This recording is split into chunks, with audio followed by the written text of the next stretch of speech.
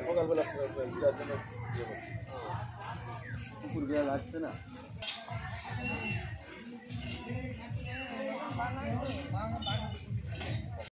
সকালবেলা তো দেখছি এখানে শিব ঠাকুর এখানে আছে।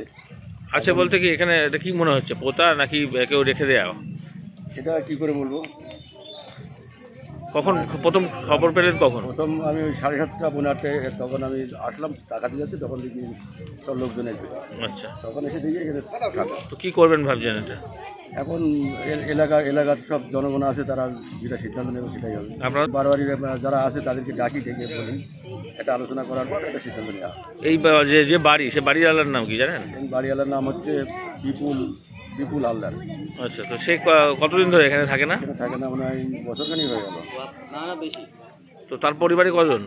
মানে এখানে থাকতো? এখানে থাকতো ওরা ওর স্বামী স্ত্রী দুজন আর একটা বাচ্চা ছিল। তো সেই নিয়ে এখন আর বাংলাদেশ থেকে এখন না ও এখন আর আসেনি। আসতে পারেনি। তো সেইটা কি হবে? এখানে কি মানে মন্দির টন্দির করার কোনো না, প্ল্যান আছে? এখানে ব্যক্তিগত সম্পত্তি এখানে মন্দির করার সিদ্ধান্ত তো আমরা নিতে পারি না। এবার যাদের জায়গা তারা সিদ্ধান্ত নিতে পারে না। এতে যদি যদি কোনো বিদ না হয় তাহলে বারবার চলে যাবে।